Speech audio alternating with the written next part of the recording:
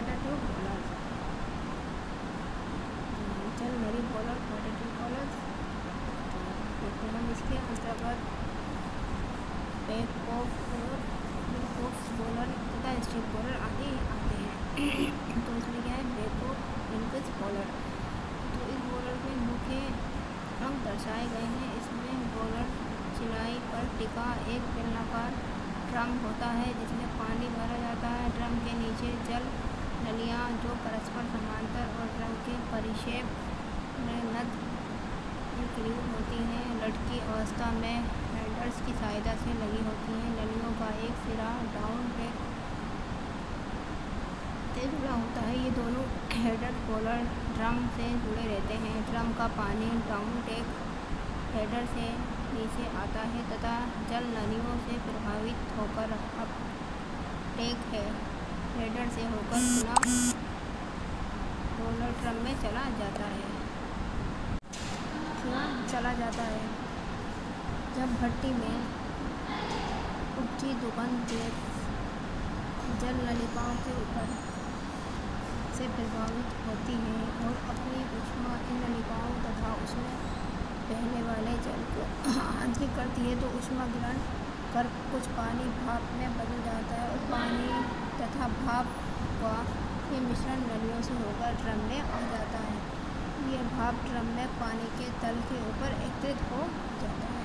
तो इसमें क्या है ये? बेकोक और विलकोक बॉलर का फिगर है तो इसमें क्या प्रेशर वाइड्स वाटर लेवल इंडिकेटर सिल water down corner heads boiler off pipe water tube anti creaming pipe, stream and water drum, stopper, grade, तब स्टॉफेल वेल तो ये क्या है हमारा? देखो उसका फिगर है। देख लेंगे आप लोग।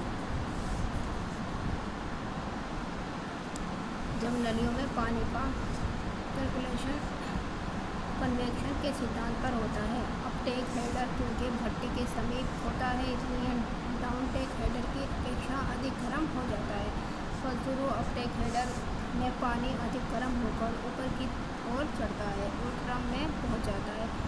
जल नलियों में गर्म पानी का स्थान ठंडा पानी ले लेता है, जो ड्रम में डाउन टेक हेडर द्वारा नलियों में आता है।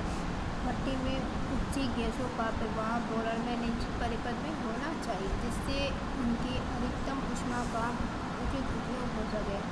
इसके लिए बोलर में ताप, सह ईंटों के दो ग्रंथिकाएँ बनी होती हैं, भट्टी से निकलकर दम गैसें सर्वप्रथम ऊपर की ओर जाती हैं, जहाँ जल नलियों और अतितापक की नलियों को गर्म करती हुई एकदम वेफर से टकराकर नीचे आती है, फिर दूसरे वेफर से टकराकर ऊपर जाती है और अंत में जल नलियों को अपनी बची हुई उष्मा क्या है?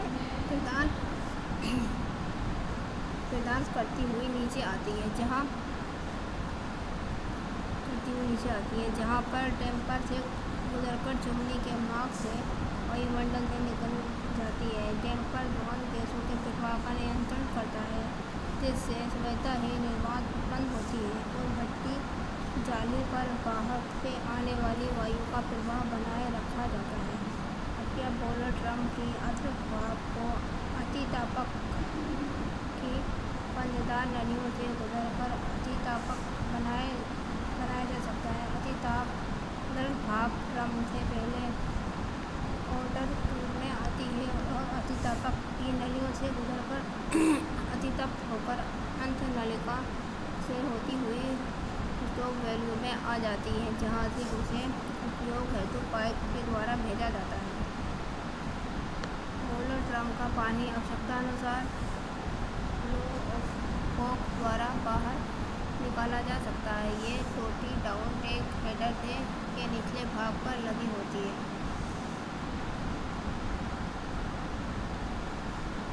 Stealing bowler. स्टीलिंग बॉलर में तीन भाप ड्रम तथा एक तलछत्र ड्रम सामान्यतः इस्पात ढांचे के सहारे लटकी व्यवस्था में होते हैं। ये सभी ड्रम मुड़ी नलियों के सहारे परस्पर एक दूसरे से जुड़े रहते हैं। ड्रम तथा नलियाँ बॉलर चिनाई से ढकन होती हैं। बॉलर चिनाई ताप से ईंटों की बनी होती है तथा इसमें केवल भट्टी बननी होती है।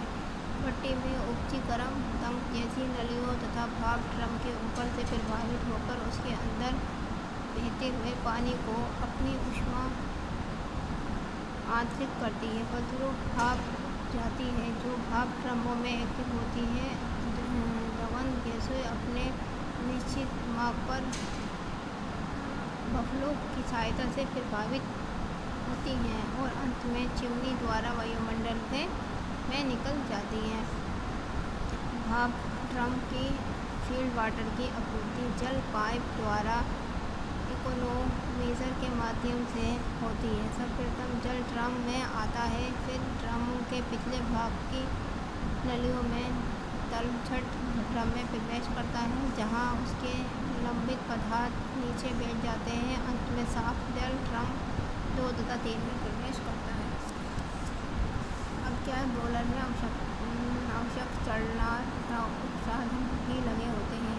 ड्रम जल संभारण के कारण पिछले भाग में, पिछले भाग में फ्यूल चेक लगा होता है प्रत्येक ड्रम पर safety valves water indicator pressure gas लगे होते हैं। भाप प्रमुख में के एक सिरे पर प्रवेश छिद्र बने होते हैं, जिनके द्वारा भाप ड्रमों की सफ़ाई की जा सकती है। तल छद्र ड्रम में निकासी टोटी लगी होती है, जिसे खोलकर ड्रम में स्थित सीडिमेंट को बाहर निकाला जा सकता है। बोलर से भाप की तप्त अवस्था में रोक बल्ब द्वारा प्राप्त की जा सकती है। अतितप्त भाप अतितापक से प्राप्त होती है। अतितापक का स्थान ऐसे स्थान पर किया जाता है जहाँ से उसे दवन गैसों की अधिकतम उष्मा प्राप्त हो सके। ये क्या है हमारा? Stirling boiler. ये स्टीलिंग बॉलर का फिगर है? इसमें क्या जल ट्यूब है? ये पेपर है? और इसमें क्या है ये वन है भाप ड्रम पहला ड्रम का पाइप है ट्यूब जा रही है। सेकंड ड्रम में हाथ ड्रम सेकंड है। और ये इसकी ट्यूब थर्ड में जुड़ रही है तो भाप ड्रम क्या है थर्ड है। ये इधर से क्या है? चुमनी है। इसमें क्या है? वेफर लगा हुआ है। और ये क्या है? अतितापक अग्नि, जलिका है। अतितापक अग्नि, जलिका। और क्या है? तल छठ ड्रम तो ये क्या है? क्या है कि जल ट्यूब लगी हुई है डबल ऐसा है। तो इसमें लगे स्टर्लिंग बॉयल में भाप का उत्पादन 60 किलोग्राम पर सेंटीमीटर स्क्वायर तथा चार सौ डिग्री सेल्सियस तापमान तक किया जा सकता है। इसकी वाष्पन क्षमता पचास हज़ार किलोग्राम पर घंटा तक होती है। तो ये हो गया हमारा